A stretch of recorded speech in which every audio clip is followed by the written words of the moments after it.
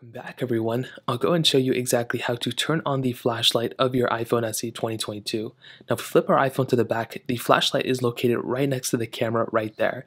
So there's a camera and then there's a microphone, then there's the LED flashlight right there. So if you want to go ahead and enable it, it's a very easy process. The first thing you want to do is you want to swipe up from the bottom of your control center. You'll get into this panel and you want to scroll down once more until you're at the bottom and you should see right next to the camera toggle a little flashlight icon. So you can go and click here and you can see that the flashlight will go ahead and turn on just like this and you should be able to see that the flashlight turned on for me. You can turn it off just by clicking that. Now if you don't see that icon what you can do is you can go and click on the settings button right there. You can go ahead and scroll down until you see control center which is right here. And at this point, you can scroll all the way down until you find the flashlight toggle that should be somewhere over here. You can see for me, the flashlight's right here. So you can find the flashlight toggle right there, and all you want to do here is go and click the plus button right next to it, and you should be able to see it.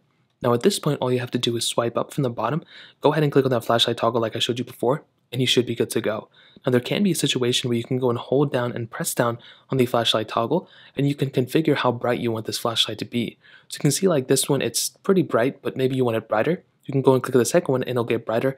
Click the third one, it'll get brighter, and you can click the fourth one and it'll get the brightest it can get. You can kind of configure whichever which way you want to do it. If you want to turn it off, you can click there. And as long as that you know specific icon is grayed out like this, then that basically means it's off. If it's on, it'll be white like this. So that's pretty much how to do it. If you guys have any other questions or anything like that, let me know in the comment section below. Hit the like button, know me so much, but definitely hit that subscribe button. More importantly than everything else, I love every single one of you guys. Hopefully I'll catch you guys in the next video. Peace out till then.